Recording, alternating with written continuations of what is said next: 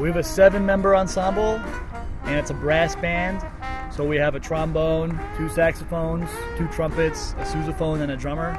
In order to be part of the, the small ensemble, you need to have proven yourself musically.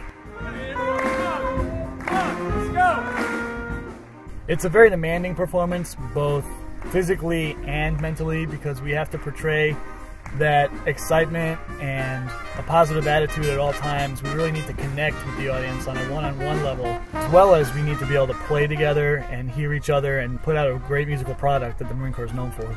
We'll spend hours and hours getting together and learning how to move our horns around and still hit the right notes at the right time.